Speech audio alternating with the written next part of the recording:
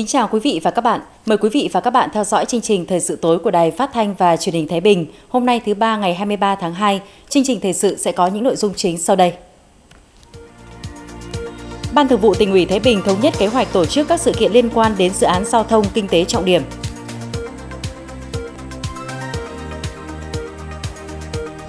Khó khăn khi học trực tuyến ở bậc tiểu học,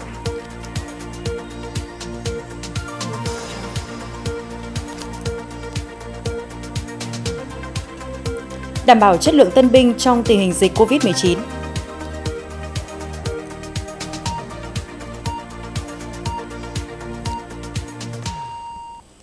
Thưa quý vị và các bạn, sáng nay Ban Thường vụ Tỉnh ủy Thái Bình tổ chức kỳ họp bàn và thảo luận một số nội dung quan trọng. Chủ trì hội nghị có đồng chí Ngô Đông Hải, Ủy viên Trung Đảng, Bí thư tỉnh ủy, đồng chí Nguyễn Tiến Thành, Phó Bí thư Thường trực tỉnh ủy, Chủ tịch Hội đồng nhân dân tỉnh, đồng chí Nguyễn Khắc Thận, Phó Bí thư tỉnh ủy, Chủ tịch Ủy ban nhân dân tỉnh. Ban Thường vụ tỉnh ủy nghe lãnh đạo Ủy ban nhân dân tỉnh báo cáo kế hoạch tổ chức hợp long cầu vượt sông Trà Lý trên tuyến đường bộ ven biển tỉnh Thái Bình. Lễ khởi công dự án đầu tư xây dựng tuyến đường bộ từ thành phố Thái Bình đi cầu Nghìn và hội nghị công bố quyết định của Thủ tướng Chính phủ phê duyệt chủ trương đầu tư dự án đầu tư xây dựng và kinh doanh kết cấu hạ tầng khu công nghiệp Liên Hà Thái trong khu kinh tế Thái Bình, được tổ chức vào sáng thứ Bảy ngày 27 tháng 2. Đây là những dự án chào mừng thành công Đại hội Đảng bộ tỉnh Thái Bình lần thứ 20 và Đại hội toàn quốc lần thứ 13 của Đảng đồng thời cụ thể hóa nghị quyết Đại hội Đảng bộ tỉnh, tạo động lực thúc đẩy nhà đầu tư và các đơn vị có liên quan triển khai thực hiện dự án đáp ứng yêu cầu về tiến độ, chất lượng, hiệu quả, quảng bá và thu hút, kêu gọi các nhà đầu tư thực hiện đầu tư trên địa bàn tỉnh Thái Bình. Đồng chí Ngô Đông Hải, Bí thư tỉnh ủy nhấn mạnh, đây là những dự án trọng điểm của tỉnh, có ý nghĩa quan trọng trong mở rộng giao thương đi lại, cũng như giúp thúc đẩy thu hút đầu tư, phát triển kinh tế xã hội của tỉnh trong thời gian tới. Trên cơ sở đó, Ban Thường vụ tỉnh ủy thống nhất với kế hoạch và thời gian tổ chức các sự kiện trên. Chúng ta thống nhất cao và ủng hộ Ủy ban dân tỉnh trong việc tổ chức ba cái sự kiện này. Trong đó chúng ta thống nhất cả về thời gian, cả về quy mô, cả về hình thức và nội dung tổ chức. Trong đó thì riêng đối với cái việc công bố quyết định về khu công nghiệp Liên Hà Thái thì tôi đề nghị Ủy ban nhân tỉnh thì các ông chí bổ sung thêm một cái ờ, phát biểu nữa. Vì như các ông chí biết là ờ, ờ, kết quả của việc xúc tiến đầu tư của tỉnh ta tại hội nghị gặp gỡ Việt Nam, Nhật Bản và nhờ sự giới thiệu nhiệt tình của đồng chí đại sứ đặc mệnh toàn quyền thì đã có một nhà đầu tư lớn của Nhật Bản đến tiếp xúc làm việc của chúng ta. Thì họ đánh giá cao cái cơ hội đầu tư tại Thái Bình và họ dự kiến là tháng 3 này nếu mà dịch Covid mà có thể tạm ổn thì chị đích, thân chủ tịch tập đoàn sẽ sang nghiên cứu và nếu phù hợp thì họ sẽ quyết tâm đầu tư một dự án khoảng 500 triệu USD. Thế thì mặc dù đến giờ phút này thì họ chưa cam kết cái việc này, nhưng mà việc họ đã tiến hành khảo sát, làm việc với ta thì cái ý kiến phát biểu của họ hết sức quan trọng. Một mặt để đặt ra vấn đề đối với chúng ta một cách công khai nhưng mặt khác cũng sẽ công khai cho phương tiện thông tin đại chúng thấy rằng là đây là những nhà đầu tư nghiêm túc về đang nghiên cứu thì các ông chí bổ sung thêm cái nội dung này. Đồng chí Bí thư tỉnh ủy giao Ủy ban nhân dân tỉnh Thái Bình nhanh chóng triển khai các công việc, tổ chức ba sự kiện trên trang trọng, tiết kiệm, an toàn và đảm bảo các điều kiện trong phòng chống dịch bệnh COVID-19. Cũng tại hội nghị đã bàn một số nội dung về công tác cán bộ. Tiếp đó, cũng trong sáng nay, Thường trực Hội đồng Nhân dân tỉnh phối hợp với Ủy ban Nhân dân tỉnh Thái Bình tổ chức hội nghị liên tịch thống nhất nội dung chương trình làm việc kỳ họp giải quyết công việc phát sinh đột xuất của Hội đồng Nhân dân tỉnh khóa 16, nhiệm kỳ 2016-2021. Đồng chí Ngô Đông Hải, Bí thư tỉnh ủy, đồng chí Nguyễn Tiến Thành, Phó Bí thư Thường trực tỉnh ủy, Chủ tịch Hội đồng Nhân dân tỉnh, đồng chí Nguyễn Khắc Thận, Phó Bí thư tỉnh ủy, Chủ tịch Ủy ban Nhân dân tỉnh dự và chỉ đạo hội nghị. Phát biểu chỉ đạo, đồng chí Ngô Đông Hải, Bí thư tỉnh ủy Thái Bình nhấn mạnh, khẳng định tính cấp thiết, cơ bản thống nhất với đề xuất về nội dung chương trình kỳ họp lần này. Mục đích nhằm góp phần thực hiện thành công mục tiêu kép của chính phủ, vừa làm tốt công tác phòng chống dịch COVID-19, vừa đẩy mạnh phát triển kinh tế xã hội địa phương. Một trong những nhiệm vụ trọng tâm của năm nay là tập trung triển khai quy hoạch tỉnh Thái Bình giai đoạn 2021-2030, tầm nhìn đến năm 2045.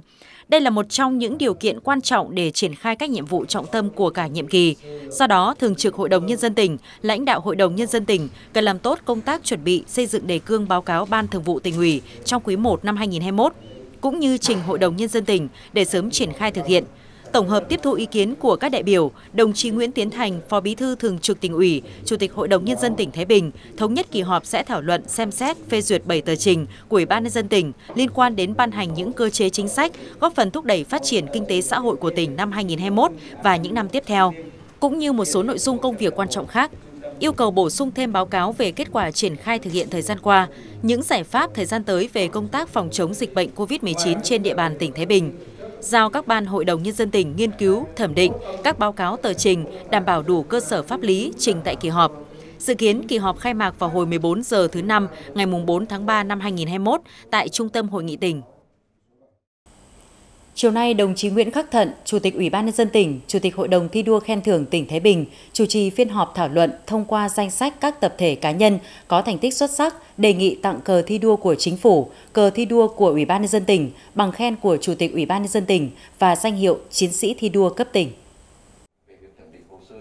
Theo kết quả thẩm định của Ban thi đua khen thưởng tỉnh, tổng số tập thể cá nhân đủ điều kiện đề nghị khen thưởng là 232 tập thể. Đồng chí Nguyễn Khắc Thận, Chủ tịch Ủy ban nhân dân tỉnh, Chủ tịch Hội đồng thi đua khen thưởng tỉnh nhấn mạnh, Hội đồng thi đua khen thưởng tỉnh cơ bản thống nhất với đề xuất của Ban thi đua khen thưởng tỉnh,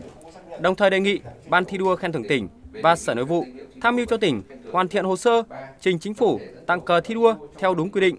nghiên cứu tăng cường công tác kiểm tra trong lĩnh vực thi đua khen thưởng, bảo đảm đúng đối tượng, đúng quy định. Tại cuộc họp, các thành viên Hội đồng thi đua khen thưởng tỉnh đã bỏ phiếu thông qua danh sách các tập thể cá nhân có thành tích xuất sắc đề nghị tặng cờ thi đua của chính phủ, cờ thi đua của Ủy ban nhân dân tỉnh, bằng khen của Chủ tịch Ủy ban nhân dân tỉnh và danh hiệu chiến sĩ thi đua cấp tỉnh. Chiều nay, đồng chí Nguyễn Quang Hưng, Ủy viên Ban Thường vụ tỉnh ủy, Phó Chủ tịch Thường trực Ủy ban nhân dân tỉnh kiểm tra và đôn đốc các đơn vị hoàn thiện các công việc để sẵn sàng hợp long cầu vượt sông Trà Lý trên tuyến đường bộ ven biển tỉnh Thái Bình và khởi công dự án đầu tư xây dựng tuyến đường bộ từ thành phố Thái Bình đi cầu Nghìn. Cầu vượt sông Trà Lý trên tuyến đường bộ ven biển tỉnh Thái Bình nối hai huyện Thái Thụy và Tiền Hải hiện nay đã hoàn thành 95% kế hoạch. Phần còn lại bao gồm lan can, điện chiếu sáng, khe co giãn và lớp phủ mặt cầu. Đồng chí Phó Chủ tịch Thường trực Ủy ban nhân dân tỉnh yêu cầu nhà thầu, ban quản lý dự án đầu tư xây dựng các công trình giao thông tỉnh Thái Bình và các đơn vị có liên quan tiếp tục các giải pháp để đẩy nhanh hoàn thiện tiến độ công trình. Cùng với đó chuẩn bị chu đáo các điều kiện cho lễ hợp long, thực hiện nghiêm các quy định về phòng chống dịch bệnh COVID-19, còn đối với dự án đầu tư xây dựng tuyến đường bộ từ thành phố Thái Bình đi cầu Nghìn với tổng chiều dài hơn 21 km, quy mô đường cấp 2 đồng bằng đi qua huyện Quỳnh Phụ, Đông Hưng, thành phố Thái Bình. Dự án được kỳ vọng sẽ góp phần đảm bảo thông thương, giảm thiểu tai nạn giao thông, góp phần thúc đẩy phát triển kinh tế xã hội địa phương. Đồng chí Phó Chủ tịch Thường trực Ủy ban nhân dân tỉnh lưu ý, Ban quản lý dự án đầu tư xây dựng các công trình giao thông tỉnh Thái Bình và huyện Đông Hưng nơi tổ chức sự kiện phải đảm bảo mọi điều kiện chu đáo nhất để lễ khởi công diễn ra an toàn và ý nghĩa.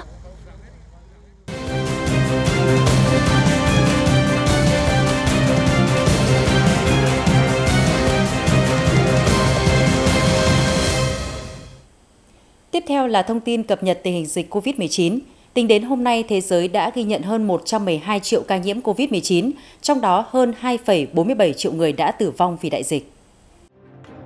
Tại Việt Nam, hôm nay ghi nhận thêm 6 ca mắc mới COVID-19 là các ca trong nước, trong đó Hải Dương 5 ca là các trường hợp F1 đều đã được cách ly tập trung trước đó.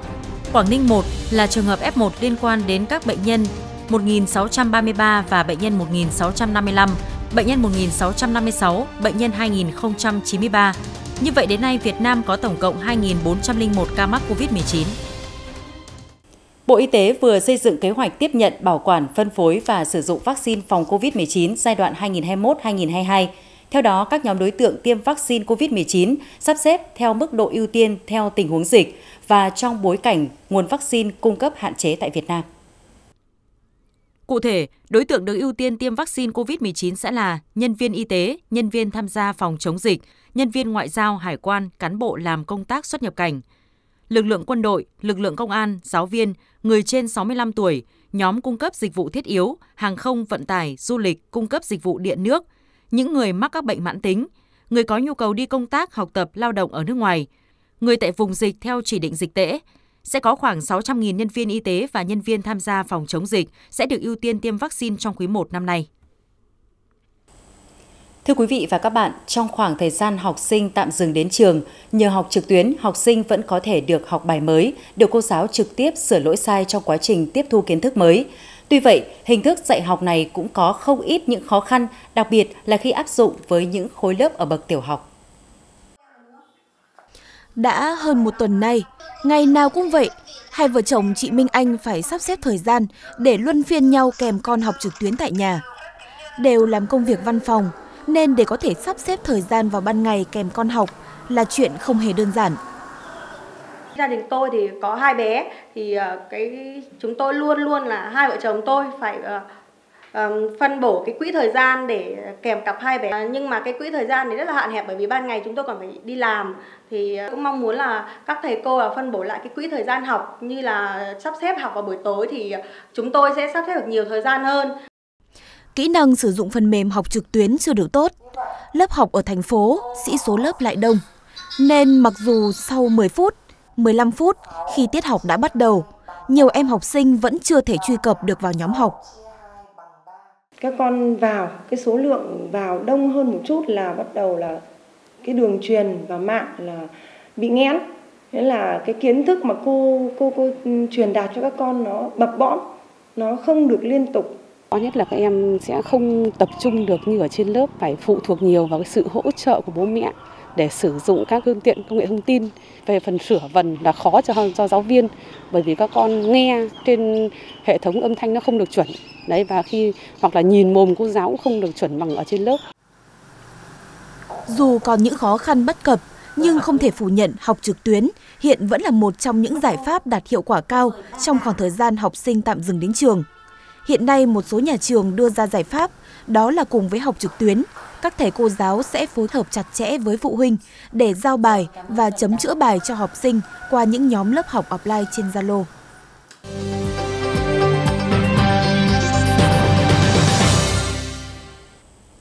Chuyển sang các tin tức khác, Sáng nay, Ủy ban Mặt trận Tổ quốc Việt Nam thành phố Thế Bình tổ chức hội nghị hướng dẫn giới thiệu người ứng cử đại biểu Hội đồng nhân dân thành phố khóa 22, nhiệm kỳ 2021-2026. Hội nghị đã thông báo về việc phân bổ cơ cấu, thành phần, số lượng những người ứng cử, việc làm và tiếp nhận hồ sơ ứng cử. Theo đó, các cơ quan, đơn vị, tổ chức được giới thiệu 63 người ứng cử đại biểu Hội đồng Nhân dân thành phố nhiệm kỳ 2016-2021. Về cơ cấu có 11 đại biểu là quân chúng, 32 đại biểu nữ, 17 đại biểu trẻ tuổi, 20 đại biểu tái cử, Chậm nhất là đến ngày 4 tháng 3 năm 2021, phiên bản giới thiệu và danh sách trích ngang của người được giới thiệu ứng cử phải được gửi đến Ban Thường trực Ủy ban Mặt trận Tổ quốc Việt Nam, thành phố. Huyện Hưng Hà cũng tổ chức hướng dẫn quy trình giới thiệu người ứng cử đại biểu Hội đồng Nhân dân huyện nhiệm kỳ 2021-2026. Theo đó, người ứng cử được cơ quan, tổ chức, đơn vị giới thiệu ứng cử đại biểu Hội đồng Nhân dân huyện và người tự ứng cử đại biểu Hội đồng Nhân dân huyện Hưng Hà sẽ nộp một hồ sơ ứng cử tại Ủy ban bầu cử cấp huyện Thời hạn nhận hồ sơ ứng cử đại biểu Hội đồng Nhân dân huyện bắt đầu từ ngày 24 tháng 2 và kết thúc vào 17 giờ ngày 14 tháng 3 năm 2021. Các tin công nghiệp sẽ tiếp tục chương trình thời sự. Trước tình hình diễn biến phức tạp của dịch COVID-19, công ty cổ phần May Đại Dương đã quan tâm chú trọng bảo vệ đoàn viên, người lao động của mình trên tinh thần vừa chống dịch hiệu quả, vừa bảo đảm hoạt động sản xuất kinh doanh xác định các hoạt động của công ty luôn tập trung đông công nhân lao động, rất dễ hình thành các ổ dịch, nguy cơ lây nhiễm chéo cao. Chỉ cần một người lao động nhiễm COVID-19 thì cả công ty phải ngừng sản xuất, sẽ ảnh hưởng rất lớn đến hoạt động sản xuất kinh doanh cũng như đời sống việc làm của người lao động. Công ty đã chủ động đẩy mạnh tuyên truyền, nâng cao nhận thức của người lao động trong phòng chống dịch, đồng thời triển khai các biện pháp phòng chống dịch tại đơn vị, quan tâm chất lượng bữa ăn ca, nâng cao sức đề kháng cho người lao động, Do ảnh hưởng của dịch bệnh COVID-19, quần áo đua xe ô tô mô tô xuất khẩu sang châu Âu bị thu hẹp, sản xuất gặp khó. Tuy nhiên, công ty trách nhiệm hữu hạn may xuất khẩu HNG đã chủ động tìm kiếm nhiều bạn hàng mới, mở rộng thị trường sang châu Mỹ, Nhật Bản, Hàn Quốc. Để hoàn thành kế hoạch sản xuất năm 2021, doanh nghiệp tích cực triển khai các biện pháp phòng chống dịch bệnh COVID-19, vừa đẩy mạnh các phong trào thi đua phát huy sáng kiến cải tiến kỹ thuật, tăng năng suất lao động, tiết giảm chi phí sản xuất, giao hàng đúng thời hạn, đảm bảo chất lượng sản phẩm. Năm nay, công ty trách nhiệm hữu hạn may xuất khẩu HNG phấn đấu đạt doanh thu trên 100 tỷ đồng. Chính thức khai trương và đi vào hoạt động từ hôm nay, Trung tâm phân phối dược phẩm Vimedimax Thái Bình trực thuộc Công ty cổ phần y dược phẩm Vimedimax hướng tới mục tiêu đảm bảo chất lượng thuốc vì sức khỏe cộng đồng. Có địa chỉ tại lô PG1 12B, Vincom Shop House, đường Quang Trung, thành phố Thái Bình. Trung tâm phân phối dược phẩm Vidimex Thái Bình xây dựng mô hình cung cấp dược phẩm, trong đó đáp ứng mục tiêu rõ ràng về xuất xứ, đảm bảo về chất lượng, chính xác về chuyên môn, giá thành hợp lý, thanh toán minh bạch qua hóa đơn điện tử. Danh mục thuốc thiết yếu của đơn vị có trên 700 mặt hàng thuốc nhập khẩu cũng như sản xuất trong nước. Đặc biệt, thông tin kê đơn, lịch sử dùng thuốc của khách hàng sẽ được lưu trữ tại hồ sơ điện tử, cho phép các chuyên gia đầu ngành tham gia phân tích, tư vấn phác đồ điều trị phù hợp, tiết kiệm thời gian, chi phí cho người bệnh. Hiện công ty cổ phần y dược phẩm Vinimec hợp tác liên doanh với Bệnh viện Phổi Trung ương từ năm 2012 để nâng cao hơn nữa chất lượng chăm sóc sức khỏe nhân dân. Thưa quý vị và các bạn, mặc dù tình hình dịch COVID-19 vẫn đang trong giai đoạn phức tạp, nhưng Hội đồng Nghĩa vụ Quân sự huyện Đông Hưng đã triển khai tốt công tác tuyển quân với tinh thần nhanh gọn, ý nghĩa và đề cao phòng chống dịch. Ngay sau kỳ nghỉ Tết Nguyên đán và trong tình hình dịch COVID-19 đang diễn biến phức tạp, Hội đồng Nghĩa vụ Quân sự huyện Đông Hưng đã triển khai đầy đủ các kế hoạch, tăng cường công tác quản lý thanh niên trước lúc lên đường nhập ngũ, yêu cầu không ra khỏi địa phương đến các vùng dịch, thực hiện nghiêm việc khai báo y tế và các biện pháp phòng chống dịch. Trong cái vui Tết đón xuân, quản lý tốt các cháu, nắm chắc cái nguồn nhập ngũ, di biến động của các thanh nam thanh niên để sẵn sàng lên đường nhập ngũ trong cái đợt này. Chỉ tiêu giao quân của huyện Đông Hưng là 360 tân binh. Đến thời điểm này, các thanh niên đã nhận lệnh nhập ngũ đảm bảo đúng chỉ tiêu chất lượng.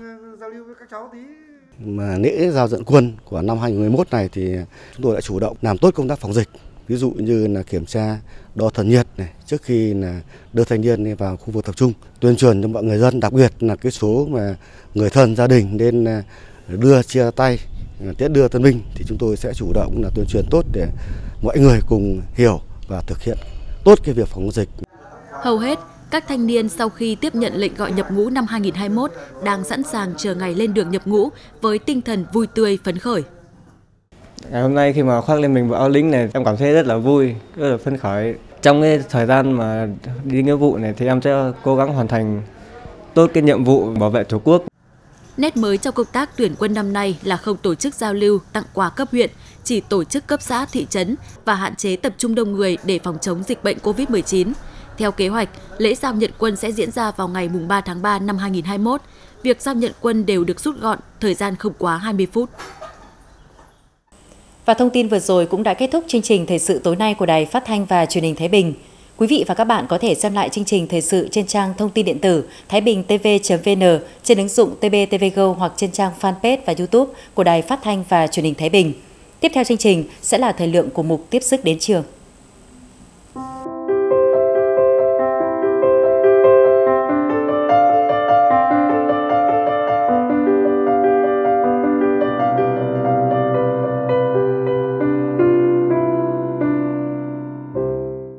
Thưa quý vị và các bạn, chương trình tiếp sức đến trường luôn tìm đến những hoàn cảnh khó khăn của các em học sinh và gia đình để những mong chia sẻ được phần nào những mong muốn của họ. Và ngày hôm nay, chúng tôi tiếp tục đưa hành trình nối dài những ước mơ đến trường với em Đặng Thu Huyền tại xã Đông Phong, huyện Tiền Hải. Năm nay tôi 73 tuổi mà bố mẹ cháu giờ mất sớm rồi, giờ tôi giờ hoàn cảnh bây giờ là già chẳng làm được cái gì mà bây giờ thì mỗi cậu nó là bây giờ là một nách nhà tám người cả bà nên là tám người bây giờ cháu ở với bà bây giờ là bà thì chỉ trông nom cháu vậy thôi Mẹ mất vì ung thư đã hơn 2 năm nay, bố cũng không tin tức. Nhiều năm nay, Huyền và bà ngoại của mình sống trong căn nhà đã xuống cấp trầm trọng. Những ngày mưa gió, nước chảy rột khắp nhà, chỉ có tấm bạt này che chở cho hai bà cháu.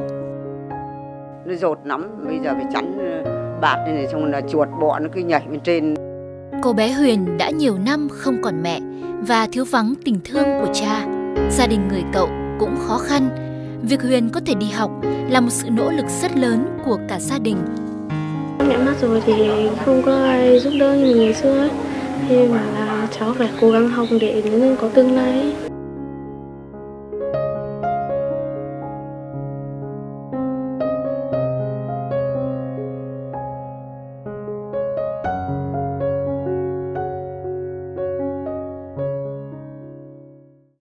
từ tranh rừng tự nhiên, với nguồn khoáng quý nơi biển sâu, sự kết hợp hoàn hảo